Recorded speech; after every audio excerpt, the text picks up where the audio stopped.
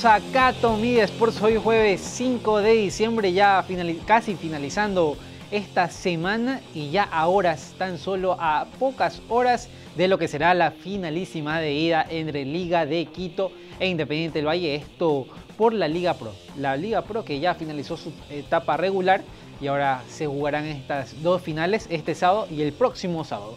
Antes de arrancar con, toda la información que tenemos preparada, porque también se sorteó el Mundial de Clubes, ya están conformados los grupos para ese Gran Mundial de Clubes 2025, donde tendremos representación ecuatoriana. Antes de arrancar con, con toda la información, usted no puede olvidarse que puede estar al tanto de todo lo que sucede en el mundo entero aquí abajo arroba catomedia-ucsg, nuestras redes sociales, sociales.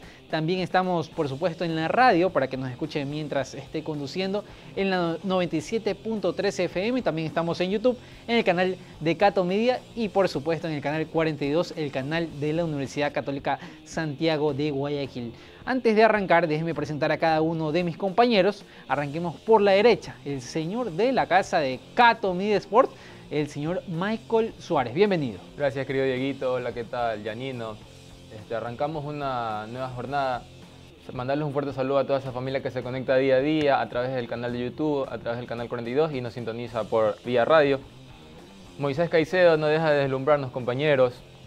Hoy debe ser nominado a Mejor Gol dentro del club, en lo que fue la jornada de noviembre. Tenemos más adelante el análisis de los ecuatorianos en su nueva participación en este nuevo cotejo de lo que será el Mundial de Clubes. También sigue fuerte la oferta por el jugador, por el central del Brujas, el ecuatoriano Joel Ordóñez. Joel Ordóñez. Sigue fuerte la pelea más que todo del club Aston Villa. Gran información, Michael. Gracias por esa información de privilegio, porque Joel Ordóñez, la verdad que está haciendo en esta, en esta temporada, está haciendo un campañón, no solo con la selección, sino también con su equipo. Yanino Fayoni, finalmente, bienvenido a Cato Media Sports. ¿Qué tal, Liguito? Un saludo para ti, Michael, un saludo y también para toda la gente que nos ve cada día, cada mañana y cada noche a través de sus pantallas. Bueno, y como mencionaba, digo, estamos a tan solo horas de lo que va a ser la primera final de cierre de este campeonato ecuatoriano, Liga Pro 2024, una final en la que Liga de Quito va a recibir en su casa, en el Rodrigo Paz Delgado Independiente del Valle, un partido bastante interesante lo que va a ser, lo que han ido mostrando estos dos equipos a lo largo de la temporada. Tal vez no es su mejor temporada, pero aún así está en la final. Entonces vamos a estar analizando eso, lo que va a ser esta gran final y detallando también lo que ya se vivió esta tarde, el sorteo del Mundial de Clubes 2025, en el que, en el que contamos con una bastante y amplia participación ecuatoriana.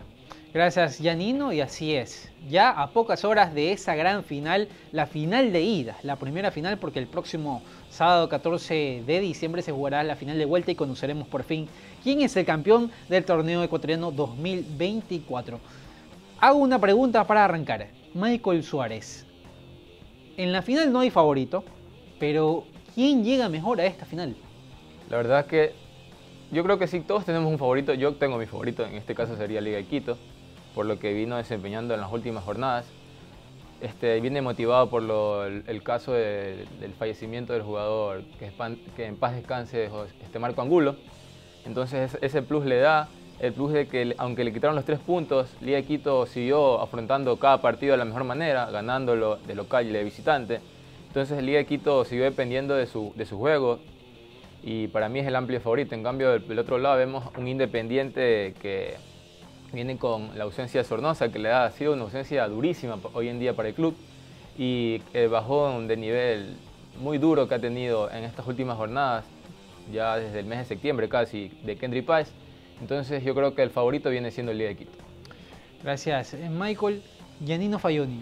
La verdad, en una final no hay favorito. Claro, eh, yo considero que el de Quito sí tiene la ventaja, pero no por el hecho de que el de Quito ha estado jugando bien, porque se puede analizar los partidos no solo por los goles, porque está el partido con Universidad Católica, que es verdad que, que el de Quito lo gana por encima, por goleada, pero tú ves el partido y ves una defensa bastante frágil por el lado de Liga Deportiva Universitaria, un Ricardo Ade que sigue sin poder llegar a su mejor nivel presentado a temporadas anteriores y su duple central que nunca ha sido capaz de llegar a la talla de un campeón del fútbol ecuatoriano como lo podría llegar a ser Liga de Quito. Pero es verdad que, que Independiente del Valle ha bajado bastante su nivel y lo, lo de la goleada de Macará fue sin duda un espejismo Vemos el empate a Orense, que fue un empate en el que, en el que escuché declaraciones de futbolistas y cuerpo técnico de dirigentes Independiente del Valle que según ellos dominaron el partido. Yo en ningún momento vi un dominio por parte de Independiente del Valle, así mismo como fue contra el Nacional. Un partido en el que tienes, digamos, eres favorito tanto por jerarquía como por por jugadores y por nivel de juego no puedes venir y replegarte como lo hizo contra el Nacional, como lo iba a hacer en su momento contra Orense, como lo hizo contra la misma Liga de Quito. Entonces es un plantel que empezó muy bien, que luego se fue apagando en esta segunda etapa, que luego tuvo su repunte nuevamente en, el tramo de semifinales y cuartos de, de Copa Ecuador, pero que nuevamente ha, ido en, bajada y creo que es lo que define toda la temporada Independiente del Valle. Un equipo que por nombres tiene, digamos, la obligación de quedar campeón si es que no es hasta más. Tuvo, tenía la obligación de hacer una buena participación internacional que no lo hizo, tenía la obligación de, llevar una Liga Pro regular que tampoco lo hizo. Entonces llega a la final por una primera parte en la, en la que sus rivales, a mi criterio, por nivel de juego de sus rivales, Independiente del Valle la saca. Pero de ahí a que ahora sea un equipo consolidado, un equipo que pueda llevarse ambas finales, lo dudo mucho y por eso considero que Liga Deportiva Universitaria tiene la ventaja. Independiente del Valle ahora está sintiendo ya la presión que tiene que tener un equipo cuando está afrontando estas finales, estas instancias. Ya ha sido campeón del torneo ecuatoriano y ha sido campeón de Copa Sudamericana en dos ocasiones, campeón de la Copa Ecuador, campeón de la Supercopa Ecuador, campeón de la Recopa Sudamericana pero ya, ya comienza a tener eh, eh, eh, presión Independiente del Valle, que es algo que siempre se ha discutido, de que Independiente del Valle no tiene la presión que tiene Liga de Quito, no tiene, que tiene Melec, que tiene Barcelona Sporting Club por su hinchada. Pero ya Independiente del Valle comienza a sentir esa presión. sí, sin lugar a dudas. Y más por lo que también ya perdió la Copa Ecuador. Y no solo eso, sino por el. Ya, está, la hinchada independiente había tenido un crecimiento en, en, en, las últimas temporadas, más en esta, pero también la presión por el hecho de que ya no te puedes considerar un equipo pequeño. Como por ejemplo las finales de Copa Ecuador que suele jugar el Nacional, que suele jugar el Muchucruna, que suele jugar equipos que, que clasifican de manera clave y que para ellos haber llegado a la final ya es el logro. En cambio, Independiente del Valle, con la plantilla que ha armado esta temporada, con el técnico que tiene y, con lo que se ha presupuestado para la temporada, tiene la obligación de dar la talla en esta final. No como anteriores veces que llegó a finales de Copa Libertadores, a finales de Copa Sudamericana y era un hito. Ya no es un hito lo de Independiente del Valle, es una realidad. Y por los nombres que tiene, la realidad que debería tener Independiente del Valle es de sacar adelante partidos como este, partidos como finales, que se ha demostrado que Independiente del Valle no no le pesa jugar finales, pero tal vez por lo que mencionas, Diego, que anteriormente no tenía, no tenía esa presión que tiene ahora, porque vemos los partidos importantes, por así decirlo, que ha tenido Liga, eh, Independiente del Valle en esta, en esta temporada y le, ha costado, le ha costado con Barcelona, le ha costado con Melec, le costó en Libertadores, le costó en Sudamericana y le costó con Liga. Entonces, es, tal vez ese repunte de la presión que le ha pasado a este equipo de Sangolquí es lo que le ha terminado costando esa pérdida de puntos clave. Históricamente, Liga de Quito tiene 24 victorias a su favor, eh, son 15 empates y 11 victorias para Independiente del Valle. Una supremacía por parte del equipo Albo Michael ante este el equipo de los Rayados. Esto pesa en una final. Obviamente todos los números pesan. Asimismo se hablaba cuando analizamos este, la previa del partido del Nacional Independiente. También no había números tan exorbitantes a diferencia Nacional versus Independiente. Este se da el mismo caso de Liga versus Independiente. Esta final también tiene el aire, huele un poco a revancha, este, ya que ya lo jugaron el año pasado. Entonces Independiente debería cuidar, no caer en el juego que cayó con el Nacional, que terminó jugando el pelotazo, que perdió totalmente su identidad. Y donde tú pierdes la identidad en una final, ya pierdes eh, más que todo la cabeza. Y ahí es donde, donde los jugadores, digamos, el, el, Nacional le quemó el tiempo, le quemó el partido. Y ya muchos de los jugadores ya no sabían cómo, cómo resolver. Entonces que si en este primer partido, que es de ida, es un poco más de análisis, porque donde se juega todo, el todo por el todo, es el, último partido. No, Independiente también contra Orense en la última en la última fecha también no es que terminó de la mejor manera ese partido, también terminó Claro, es, lo que yo digo. Largos. Lo de Independiente no es solo que a Independiente no le han jugado a encerrarse, no es un equipo que ataca y, no mete los goles porque, porque sus equipos se repliegan, nada de eso. Independiente del Valle ha sido enfrentado de tú de tú por equipos como Orense, por equipos como el Nacional, equipos que no tienen la plantilla que puede tener Liga de Quito, que donde Liga de Quito le plantea un partido como le planteó al, el Nacional, Orense Independiente del Valle, esa final en Casa Blanca va a ser un paseo, un paseo para los Albos. Bueno, revisemos, revisemos los posibles 11 para ambas escuadras para esta finalísima de ida de la Liga Pro. Primero arranquemos con el equipo Albo, Alexander Domínguez en el pórtico, en la saga defensiva Leonel Quiñones por la izquierda, En la saga central, Ricardo Ade junto a Richard Mina y José Quintero como lateral derecho. Aquí está la duda, porque José Quintero sufrió una lesión ya hace unas semanas atrás y Daniel de la Cruz podría entrar, pero igualmente, Vitamina Sánchez estará, está esperando a qué pasa hasta el día sábado con José el Choclo Quinteros. En el medio campo, en la zona medular, Madison Julio como un 5, Ezequiel Piovi, el capitán del conjunto Albo, junto a Fernando Cornejo, el chileno. Por la banda izquierda regresaría Johan Julio, por la banda derecha, Brian Ramírez, que se ha mandado una, una gran temporada. Una segunda fase más que todo. Una segunda, segunda fase. Eh, pero ha tenido muy buenos momentos Brian Ramírez y uno de los mayores asistidores en esta, esta segunda etapa también Michael. Y dejando en punta al goleador de la Liga Pro, que ya también superó el récord de Jonathan Bauman desde, desde que el torneo ecuatoriano se llama Liga Pro. Alex Arce con 26 tantos, el delantero letal que tiene Liga Deportiva Universitaria de Quito. Revisemos el posible 11 de Independiente del Valle, cómo estaría, cómo enfrentaría y cómo armaría Javier Gandolfi esta final de ida.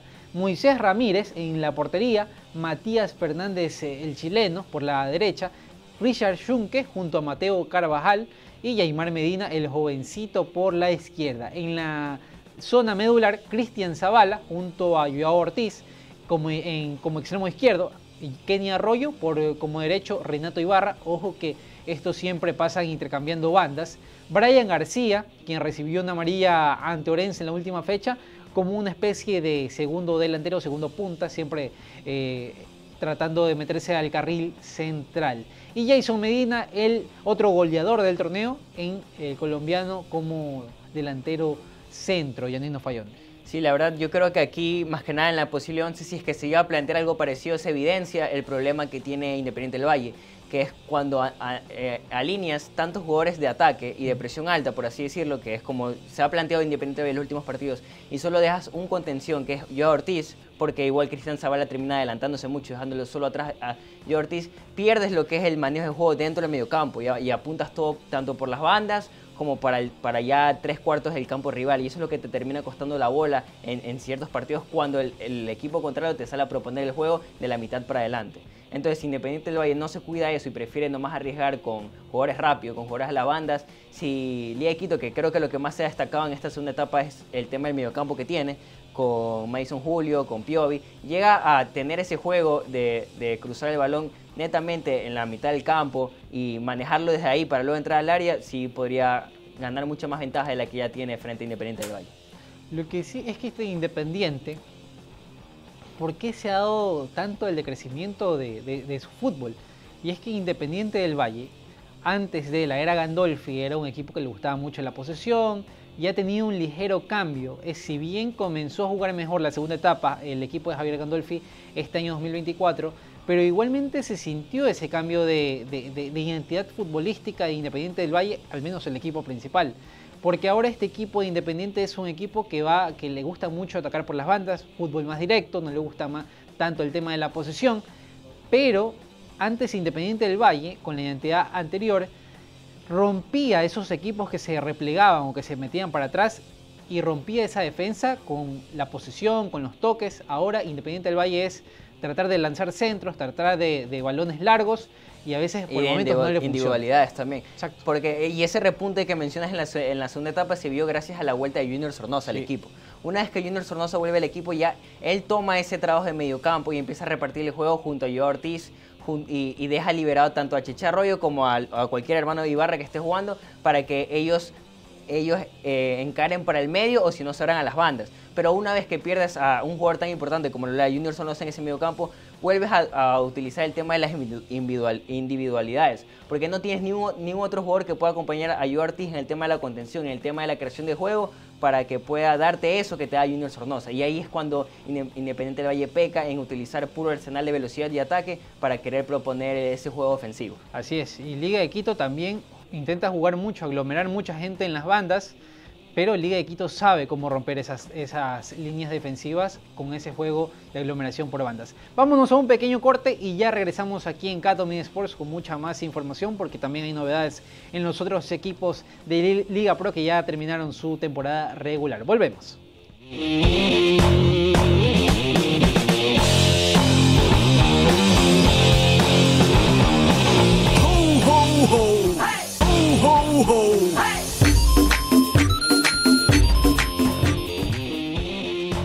Regresamos aquí en Cato Media Sports. Agradecerles de antemano por su fiel sintonía noche a noche junto a nosotros que trabajamos para traerles la mejor información y el mejor análisis deportivo. Dejemos a un lado lo que haciendo un poco la previa de lo que será esta final de ida entre Liga de Quito ante Independiente del Valle este sábado en el Estadio Rodrigo Paz Delgado a partir de las 3 y media de la tarde en esta final de ida de Liga Pro.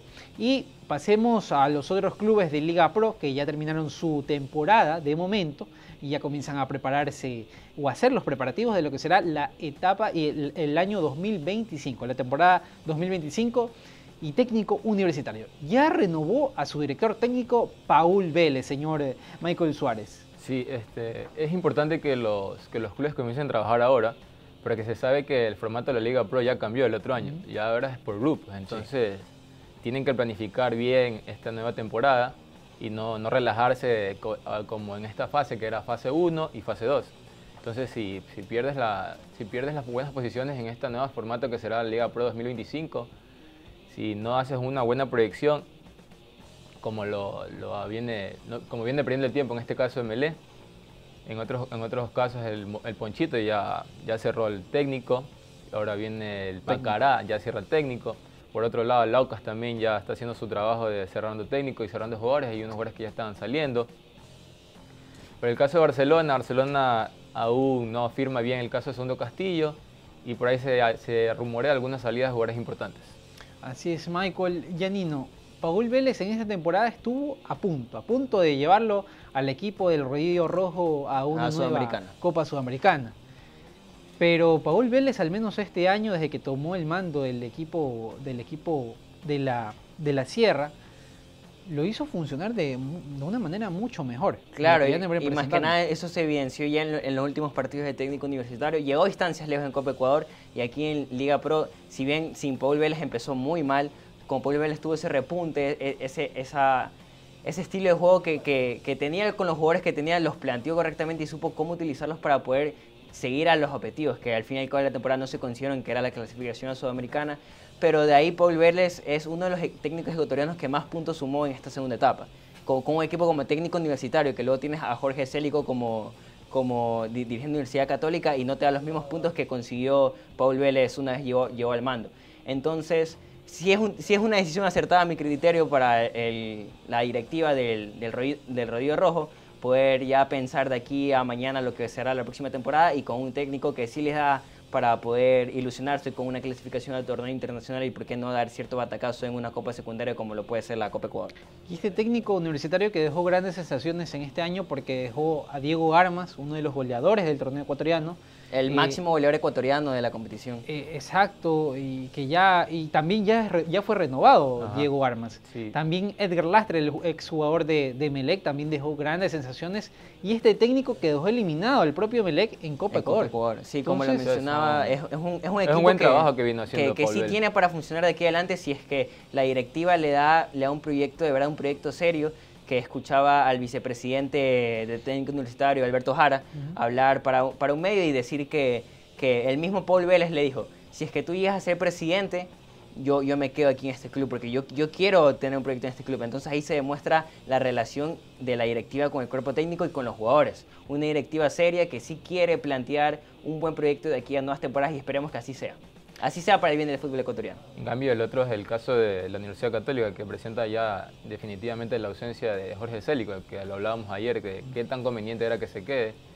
Y aquí analizábamos que ya era un, ya un técnico de la casa y ahora con que sale la Católica a afirmar que no se va a quedar, con qué sorpresa va a salir ahora la Católica, porque vemos que es un equipo que le falta afianzarse en los, en los partidos importantes.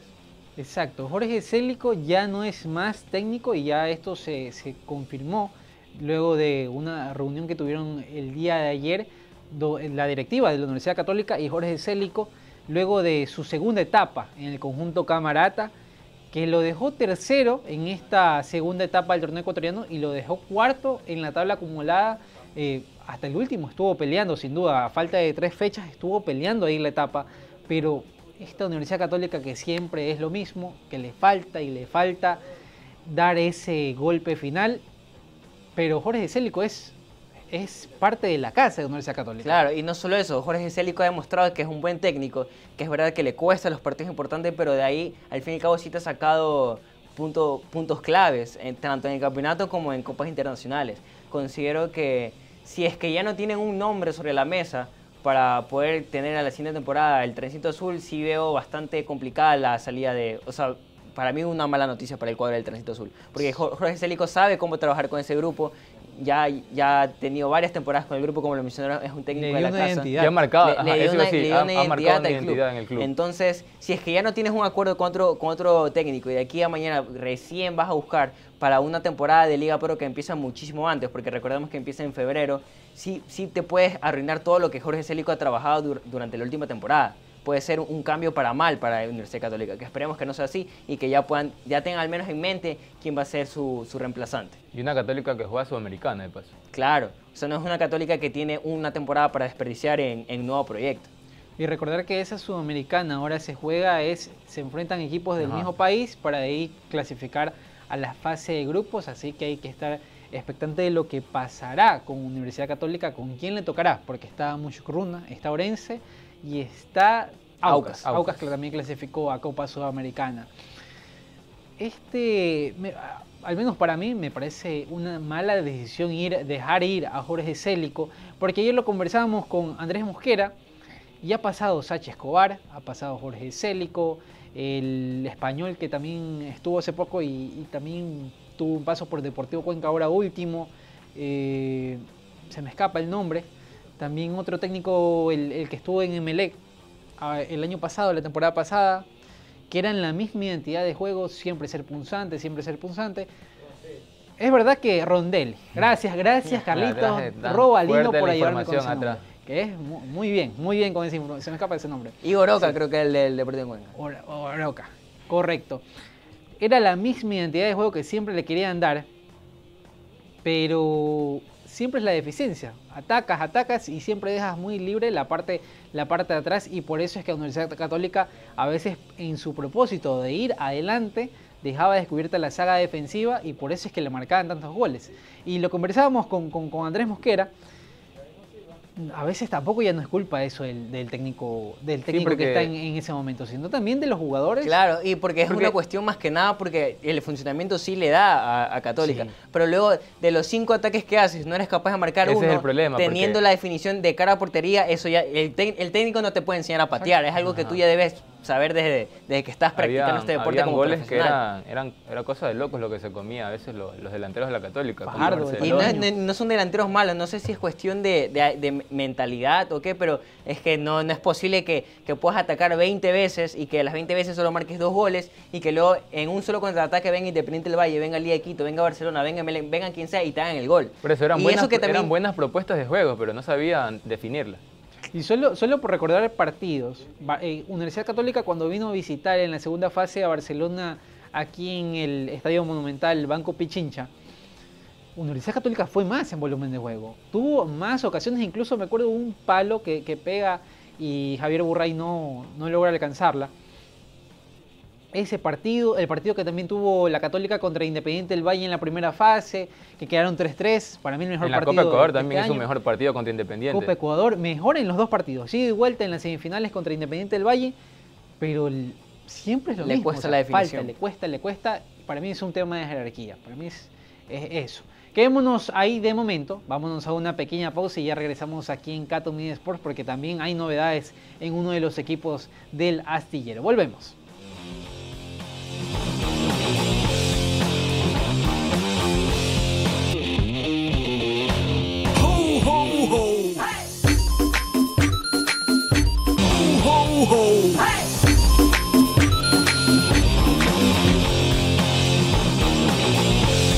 Y regresamos ya en el tercer bloque de Cato Media Sports y dejemos a un lado los equipos de las alturas y pasemos a la costa, eh, específicamente uno de los equipos del astillero, porque el club Sport Emelec sigue la incertidumbre de qué pasará con el conjunto millonario para la temporada 2025. Jugadores que se van, jugadores que tal vez no se vayan, técnico que saldrá, no saldrá, Leonel Álvarez, la dirigencia se quedará, llamarán elecciones, no se sabe que, cuál es el rumbo que tomará el club Sport Emelec para el 2025. Algo que sí se sabe es que el día de ayer hubo una reunión entre la dirigencia azul con el cuerpo técnico de Leonel Álvarez y de momento quieren la rescisión del contrato, eh, Yanino, pero es el tema del dinero. Se va, se va. Yo, yo hoy, hoy día yo se lo digo y si, y si me equivoco asumo toda responsabilidad que me pongan el video en la intro. hacen el edit. Y usted, usted, sí le pega a, las, a las sí, sí, sí, claro. Yo, yo sí tengo información de primera. Yo sí tengo información de primera y real.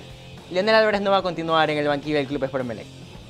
Y bueno, lo mencionaba no tanto por el tema de plata, sino también por el disgusto de los pocos jugadores que, le, que quedan en el cuadro eléctrico, porque el día de ayer se supo que el lateral Gustavo Cortés lanzó una carta en la que pide de deseo que le dejen salir del club y que pueda volver al, club dueño de sus derechos, que es Independiente del Valle. De ahí otra cosa que se pudo conocer del cuadro eléctrico es que habló Luis Fernando León, eh, para un medio y supo indicar que hay más de 8 o 9 jugadores que están muy eh, disgustados con el tema del cuerpo técnico y que él siendo el capitán del club... con la dirigencia también. Y, con la hablaba que estaban entrenando casi incómodos. Claro, y, lleva diciendo que, muchos decían que no, que a los jugadores se les debía dos, tres meses, mes y medio, pero el, capitán del cuadro eléctrico salió a declarar que le deben cuatro meses de, sueldo, al menos a él, diciendo que desconoce el tema de los, de los salarios de otros jugadores, pero al menos al capitán del club, al que es, la al que es una de las primeras, de, las, de las caras referentes de tu entidad, de verle cuatro meses de sueldo. Y que aún así él venga a declarar decir que se quiere quedar, porque Luis Fernando León se quiere quedar en el club. Tiene hasta el 2027 contrato. 2027 tiene contrato y él dejó en claro que él no quiere rescindir, que él, si él renovó es para hacer historia. No sé qué historia va a querer hacer el señor Fernando León con esta dirigencia y con todos estos problemas económicos que tiene el cuadro azul, pero eh, esperemos y, vaya en alza porque si las cosas se mantienen como así, el equipo se va a segunda categoría. Y eso se pudo conocer el día de hoy que tienen un plazo estimado de aquí para pagar a los jugadores. Y en caso de que no lo cumplan, el equipo descenderá a segunda categoría. Por eso, yo decía que se vuelve un círculo, como que este, no pagas, el otro año van a haber nuevas deudas, nuevas denuncias, y se torna... No hay una forma de... Ajá, no se cierra el círculo. Y no, hay manera de, poder eh, hacer como que un antes y un después en este club, por más que nada por negligencia de la dirigencia.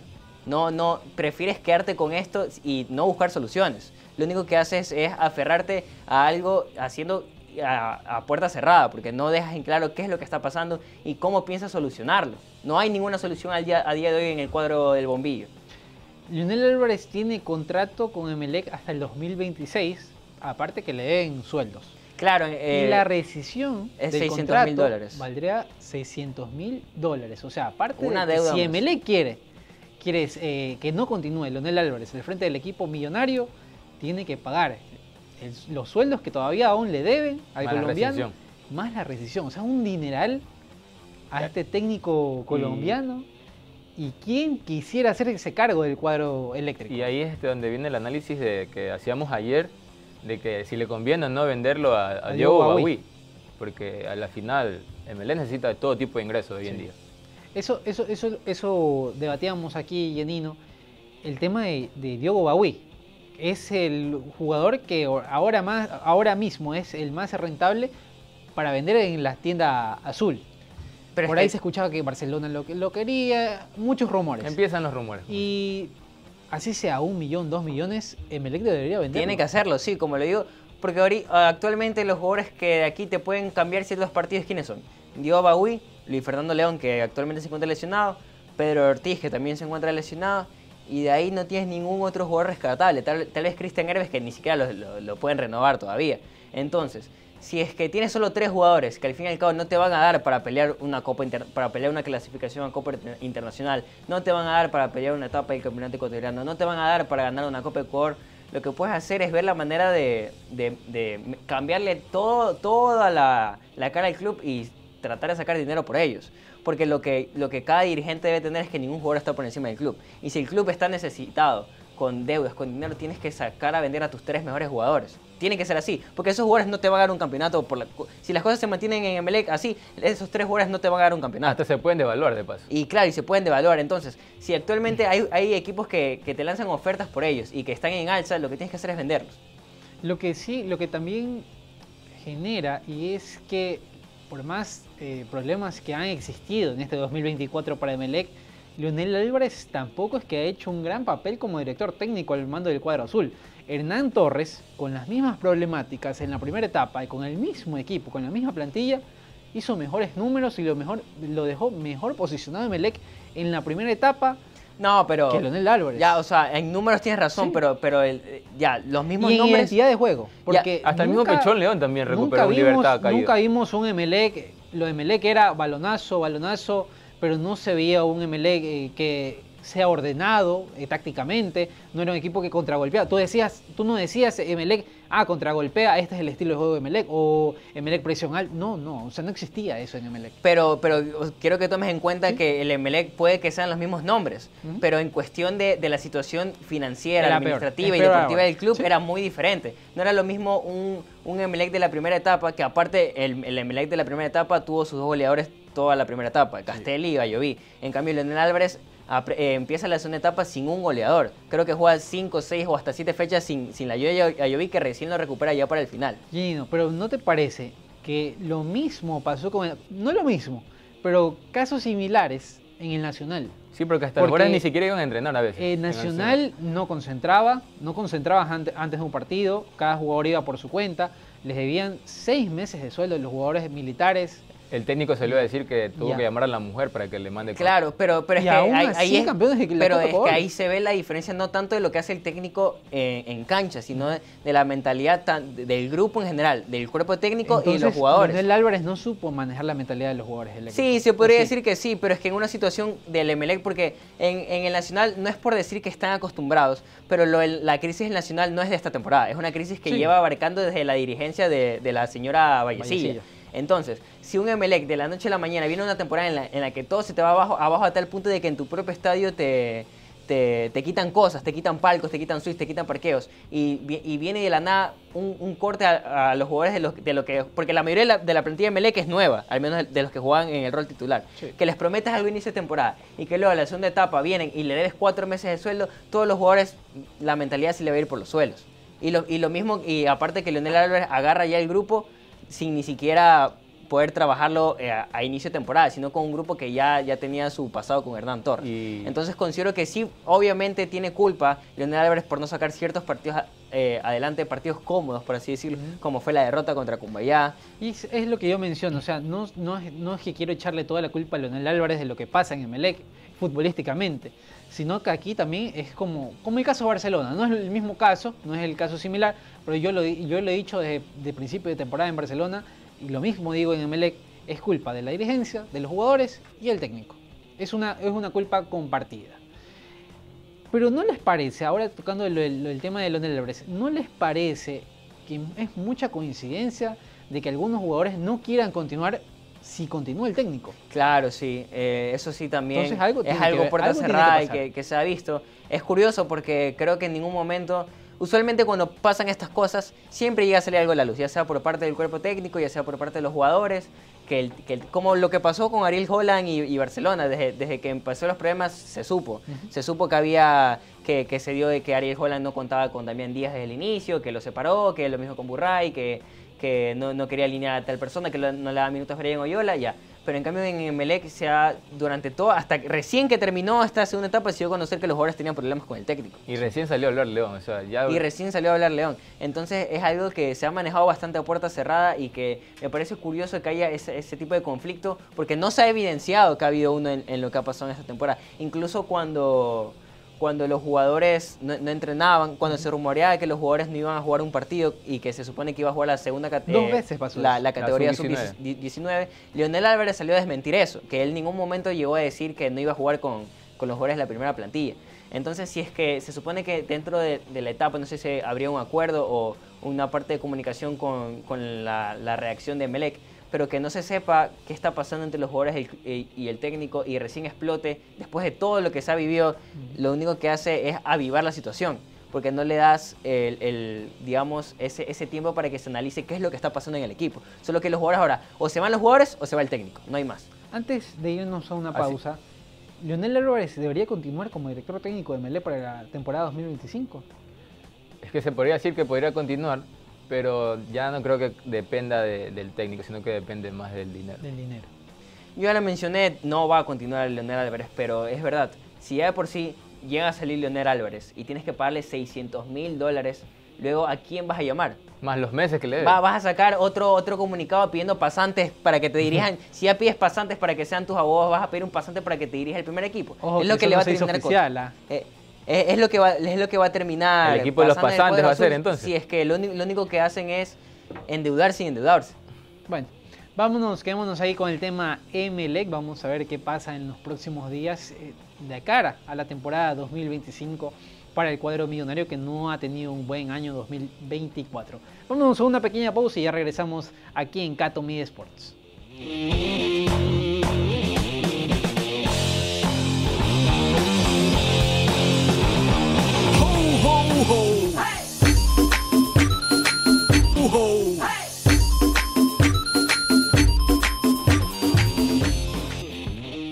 Y regresamos aquí en Cato Media Sports ya en el último bloque y el tiempo se va volando cuando debatimos y analizamos el mundo del fútbol y de- también de los deportes porque es Cato Media Sports. También hoy se llevó a cabo en la ciudad de Miami a partir de la una de la tarde el sorteo ya oficial y ya están conformados los grupos de lo que será el próximo Mundial de Clubes para el 2025 donde tendremos participación ecuatoriana. Así que gran represent- representación y grandes duelos porque Flamengo ante el Chelsea de Moisés Caicedo, eh, también el, león, el león de Jordi Alciba está en ese mismo grupo. eh, Pachuca ante el Real Madrid, Pachuca de Ángel Mena y, Y Andrés Andrés Micolta. Entonces, Micolta. ¿quién se imaginaría estos, estos duelos? Lo que yo puedo decir a día de hoy es que el Pachuca y Guillermo Almada se le puede parar al Real Madrid de, Flore- de Florentino Pérez y Carlo Ancelotti. Es lo que, es lo que comentaba, lo que comentaba, porque Guillermo Almada siempre, el- los equipos de Guillermo Almada siempre es un han gigantes. tenido esa identidad, Y qué no solo gigante el mata Real Madrid gigantes, también, ¿no? sino de que siempre le salen a jugar y él siempre ha dicho que la manera, la mejor manera de defenderse es atacando. Nunca baja los brazos y eso lo hacía hasta cuando estaba aquí en el Barcelona Sporting Club.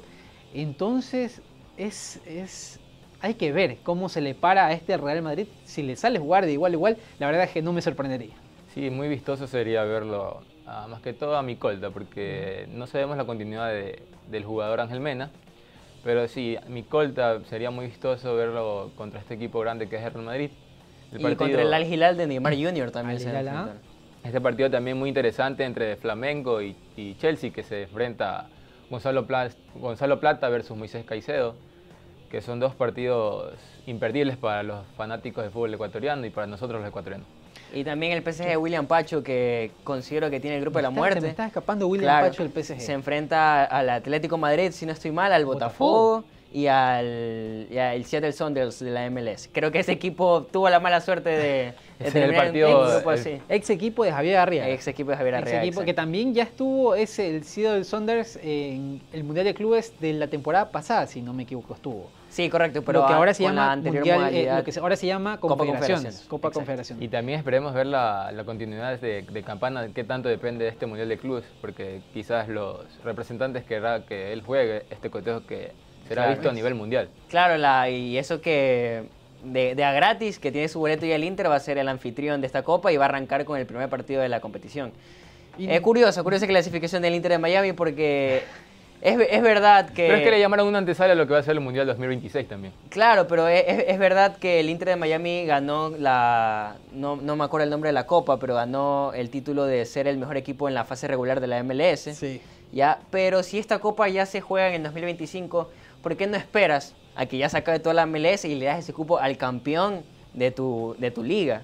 Que si Estados Unidos tiene ese, ese cupo extra por ser anfitrión, lo, lo más razonable es que le des el cupo al que queda campeón de tu liga, cosa que no se dio y prefirió dársela al Inter de Miami por tema de ventas, por tema de, de derechos televisivos y marketing más que nada. Pero sí, sí, me, sí me parece un tanto injusto por el hecho de que la copa no inicia ahora. Si iniciaría ahora, te lo compro. 2025. Eh, inicia 2025, inicia después de que se acaben todas estas temporadas, después de que ya haya un campeón de la MLS, que siendo campeón de la MLS no va a estar en un torneo internacional que se disputa en su propio país. Y también este, quería, el mes de agre- jul- querí- junio, ajá, quería agregar que perdimos la oportunidad de ver a Barcelona Independiente en este nuevo formato, ya que tuvieron unos- una pésima actuación en Libertadores. Claro, y no, la- no la tenían tan complicada. Creo que Solo Independiente, eran de, de- de avanzar a semifinales, creo. e Independiente del Valle tenía la posibilidad de, de solo avanzar a cuartos si es que Nacional de Uruguay se quedaba en fase de grupo. Se quedaba ahí. y porque hubieran es lo que cogido- pasó. claro. Hubieran cogido el, el cupo de Boca, creo. También, exacto. Entonces, eh, ya, no, no, no es cupo, cu- cu- Boca ya está clasificado, tiene un, cupo, eh, un cupo extra que, que creo que se lo quedó Nacional de Uruguay, si no estoy mal. No sé si clasificó o no, pero No, había no un cupo que se, No que se disputa. Ah, no clasificó. Clasificó por ranking, clasificó River Plate y Boca, Juniors. ah, entonces sí era ese cupo. Ajá, era Ya, uno de esos. y, ah, sí, claro, porque Copa no sumaba, Boca no sumaba Porque por no jugar jugó, sudamericano. porque no jugó, Exacto. Entonces, teniendo la oportunidad que justo este- esta temporada le vaya tan mal a los clubes ecuatorianos a nivel internacional, eh, es triste.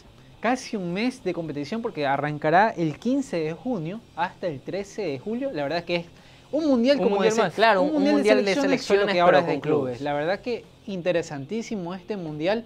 Ayúdeme por favor producción con, esa, con esos grupos que ya se conformaron el día de hoy para revisar cómo, cuál es el grupo más competitivo que de reojo para mí es el grupo B. En el grupo A, Palmeiras de Brasil ante el Porto, el Al-Ali de Egipto ante y también está el Inter de Miami, equipo de Lionel Messi, de Leonardo Campana, de Jordi, Al- Jordi Alba, Jordi Alcibar está, Jordi Alcibar en León. La representación A mí me gusta este grupo por el hecho de que no veo a nadie muy superior por encima del resto. Sí. ¿Del grupo? Porque es verdad que, bueno, está el Al- Al-Ali de Egipto, pero tienes a, a un Palmeiras que considero que sí le puede competir a un Porto y un Inter de Miami que Sí. por individualidad y estrellas puede ahí sacar uno Pero estrellas retiradas adelante. prácticamente. Claro, pero al fin y al ¿Sabe cabo tienen ese toque que por algo de, de estar en el descenso terminaron siendo el mejor equipo de la temporada regular del- de la MLS. ¿Sabes qué? Comentábamos con Michael eh, tras cámaras antes de empezar el programa. Era el tema de que ahora se realiza el sorteo. Nosotros podemos analizar cómo están ahora los clubes, pero el torneo empieza en junio de 2025. Hay que ver cómo llegan todos, todos estos equipos de cara al mundial, este mundial de Claro, clubes porque no es 2025. como el tema del Mundial de Selecciones que hay pausas y que, y que usualmente los equipos no suelen variar mucho de aquí al Mundial. Pero en cambio estos, todos los equipos siguen jugando temporada regular. La O sea, por- jornada- en, la en Europa Europa, es- termina- es, ya termina. vacaciones, por ejemplo. En Europa termina la jornada En ya. Sudamérica sí. pero en. Europa todavía le falta. En Sudamérica ahorita está en No, no, vacaciones. No, pero no. por eso, cuando ya sea el mundial, ya habrá terminado todas las ligas europeas. Ah, eso. y Ya eh, seremos campeón ya de hasta, hasta campeón de Champions. Champions. De Europa League. Eh, en- en- y acá en Sudamérica estaremos en plena competición. Claro, y, Y también en Norteamérica. Claro, sí, porque eh, de- creo que de todos esos equipos el único que tiene vacaciones ahorita es el Inter de Miami, que ya terminó su temporada regular al ser eliminado de la, de la MLS. Pero de ahí todos los equipos, como mencionaba, todavía siguen jugando. bueno, el Entonces, Brasil era una fecha de acabarse ya. Claro, eso sí. El grupo B eh, está el PSG de William Pacho, el Atlético Mineiro de... eh, Atlético Madrid. Atlético Madrid, perdón, Atlético Mineiro, el, ante el Botafogo que Quería poner otro justamente- ecuatoriano ahí también. Justamente eliminó al Atlético Mineiro y el Seattle Sanders, ex equipo de Javier Arriaga, este grupo B. La verdad que para mí el mejor grupo, el, El grupo más más, vistoso. Más competitivo, bravo, el más bravo le bravo, más bravo. Aunque la verdad que yo le digo, el Atlético Madrid, hoy estaba jugando Copa, Copa del Rey. Copa del Rey y contra un equipo de menor categoría y Es que no Quedó presentan los titulares le tampoco. costaba. Le costó. Le Pero es que costó. no, no presentó los titulares. Iba Claro, perdiendo. eso sí, porque lo que sí puedo mencionar es que el Atlético Madrid, dejando de lado este partido que yo no lo vi, ha venido en alza. Ajá. Viene goleando en Champions, viene goleando en Liga y ya está a un punto del Real Madrid en la Liga Española. Entonces, como le digo, como actualmente al menos los equipos europeos siguen jugando, porque ya en Sudamérica de aquí ya se toman sus vacaciones y regresan, pero es- considero que todo este tiempo son tiempos de transiciones. En, en- en- en equipos sudamericanos pueden cambiar técnicos, se pueden ir jugadores, se pueden lesionar jugadores y, y en Europa puede haber lo mismo. Porque Por ejemplo, el, el caso tú dices de transiciones, el caso de Manchester City que viene de caída y recién no sabemos cómo va a terminar Claro, la nos- temporada. ahorita el Manchester City cualquiera de esos equipos le puede estar ganando. Pero de aquí a, aquí a junio puede estar de nuevo puntero en la Premier. Puede Hasta estar ser el campeón de la misma. Premier. Exacto. Entonces son cosas que, que, que, ajá, no podemos ahorita decir hay un candidato para este, para este mundial, hay, un- hay candidatos que van a clasificar porque al ser un mundial de clubes que disputan torneos que recién, por esos meses otros clubes recién van a empezar, va a ser, considero que este torneo va a ser muy irregular. Muy irregular. Muy irregular por el tema de sorpresas. Ayúdenme, producción, por favor, con la todavía los otros grupos que no habíamos terminado, los primeros cuatro grupos. Nos quedamos hasta el grupo B, veamos el grupo C. El Bayern Múnich ante el Auckland City, este equipo de Australia, Boca Juniors y Benfica de Portugal. El grupo D, Flamengo ante el Tunis, este equipo de Túnez, Chelsea de Moisés Caicedo y el León de Jordi Alcibar. Aquí vamos a tener tres enfrentamientos de ecuatorianos. Flamengo de Gonzalo Plata, Chelsea de Moisés Caicedo y el León de Jordi Alcibar. Pasemos a los otros cuatro grupos, donde también tenemos presencia ecuatoriana. River Plate de Argentina ante el Uruguay. Este Uruguay es de Corea, si no me equivoco. Sí, sí. Monterrey de México y el Inter Milán. En el grupo F, el Fluminense, el, vice, el campeón del 2024 en la Libertadores, el Borussia Dortmund, el Ulsan, ese también es equipo coreano, y el Mamelodi, este equipo de Petra, ciudad de Sudáfrica. Manchester City de Inglaterra ante el Wydad, este equipo también de Túnez. Al Ain de Emiratos Árabes Unidos ante la Juventus de Italia. Y finalmente en el grupo H, el Real Madrid ante el Al Hilal de Neymar y todas sus estrellas de Arabia, Saudita. Ante el Pachuca de Andrés Micolta, de Ángel Mena, de Salomón Rondón, Rondón, y de el- delantero venezolano. Guillermo Almada como director técnico y el Salzburgo. La verdad es que me, me parece muy llamativo Pachuca ante Real Madrid. Invita a no perderse casi eh, demasiados partidos vistosos. También- Claro, creo- considero que son partidos, es una copa más que nada para, para que la afición disfrute de esos partidos que jamás imaginamos ver. Y un, toco- un poco así tipo play casi como cuando se forma eh, estos- exacto, estos- como PlayStation. juegos entre claro. amigos Y qué mejor oportunidad que este Mundial de Clubes, que sin duda va a estar, todos los ojos de todo el mundo del fútbol va a estar sobre este Mundial. Qué mejor opor- por- oportunidad para los ecuatorianos de lucirse y, ¿por qué no? Lleva- llegar a un equipo de mejor nivel. Porque Claro. Moisés Caicedo, no es que el Chelsea sea, sea, sea cualquier equipo, pero eh, subir a un Real Madrid, llevar a un Bayern Múnich. Que ya ¿por se ha no? rumoreado que el equipo blanco está con los ojos encima de- del volante Eh. Andrés Micolta, que llega a un equipo europeo, eh, lo mismo Jordi Alcibar, eh, también Gonzalo Plata, porque Claro, es como lo que se ha visto en, a- a en las, Europa. en las competiciones internacionales de selecciones. Usualmente ahí es donde se da el salto grande de, lo- de los jugadores. Más que nada, por ejemplo, se vio en, en el caso de, de Hincapié y Moisés Caicedo en la Copa América. Se vio asimismo el caso de Gonzalo Plata en el, en el Mundial. Entonces son situaciones que los jugadores deben aprovechar para sacar adelante, porque de aquí quién sabe cuándo vuelvas a clasificar a un Mundial de Clubes. Que es muy difícil de clasificar. Equipos europeos de talla mundial, como el Fútbol Club Barcelona, como el Liverpool, se quedaron, se quedaron fuera. Entonces. y más eh, acá en Sudamérica que casi tienen la mayoría de los cupos los de Brasil Claro, entonces es algo que, que es, es difícil de clasificar por el tema de que la clasificación se rige por, lo- por los puntos de FIFA, no tanto por lo que hagas en la presente temporada o en la temporada anterior, sino como estés posicionado en el ranking FIFA. De ahí Sí, lo otro a analizar es el tema de la cantidad absurda de partidos que ahora van a tener que jugar lo- los jugadores. más que todo en Europa casi no tanto en Sudamérica Claro, porque los, los equipos sudamericanos, más, bueno, dejando de lado a los brasileños, ellos sí juegan casi 38 Claro, lo- los equipos de, de Ecuador, los equipos de incluso del mismo Argentina, no están tan acostumbrados a jugar tanta cantidad de partidos porque no suelen llegar a tantas instancias en torneos internacionales como Sudamericana, como Libertadores. Entonces solo les queda el campeonato local y por ahí la Copa local que se juega.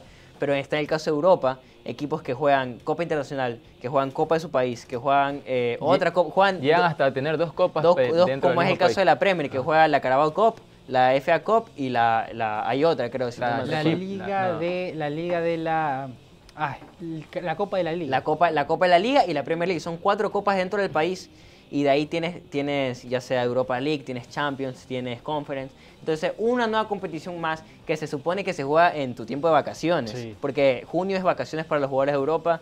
Ya es algo que los mismos jugadores han salido a, a reclamar. Y por eso ha sido como que un poco muy inteligente el caso del Chelsea, quería citar, que ha sido muy dosificante en conference. Casi no presentan ni uno de la... La mayoría de los, de los titulares se han dedicado a la Premier y otra plantilla se ha dedicado como que a conference y le ha ido muy bien. Ha estado segundo en, en la Premier y primero en conference. Bueno, quedémonos ahí por el día de hoy. Ha sido un gran programa de- analizando lo que ha sido, lo que va a ser la final de la Liga Pro de este sábado, la final de ida entre Liga de Quito e Independiente del Valle. También las novedades de lo que pasa en los clubes ecuatorianos que ya terminaron su temporada regular y también este Mundial de Clubes que ya están conformados los grupos y que sin duda será una gran competencia el próximo año desde junio hasta el mes de julio. Agradecerles de antemano por su fiel sintonía noche a noche junto a nosotros que trabajamos y nos esforzamos por traerles el mejor análisis y la mejor información deportiva. No se olvide que para que esté al tanto de todo lo que sucede en el mundo entero puede estar eh, siguiendo las redes sociales de Cato Media. Aquí están, arroba Cato Media-UCSG y también estamos en la radio para que nos escuche en la 97.13 FM.